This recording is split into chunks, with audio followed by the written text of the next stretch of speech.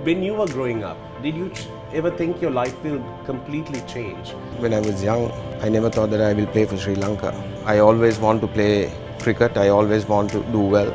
I started from playing softball cricket with my brother, my friends back back hmm. home. So gradually, I started my career playing under 13, under 15, under 17, under 19. That's how I got into first class cricket Sri Lanka.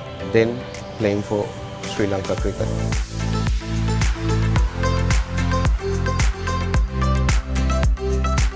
Apart from cricket, how would you describe Chaminda Just a ordinary person. Are you like a calm, yeah, no, you're a calm, collected guy. I'm very calm and uh, I'm trying to live by myself.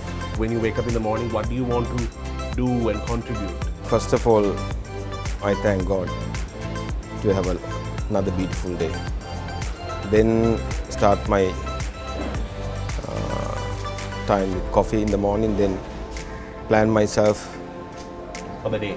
for the day. You know that he actually asked me whether we can do this shoot on Monday because he had to cut his hair from this very special person. You cut it, no? I cut it. Danu on Fire, Wednesday at 10 p.m.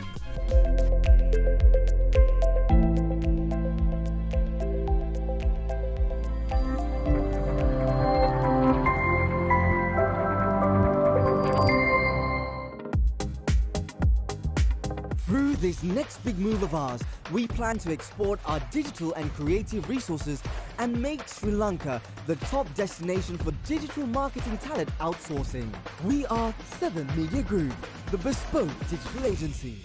Bye.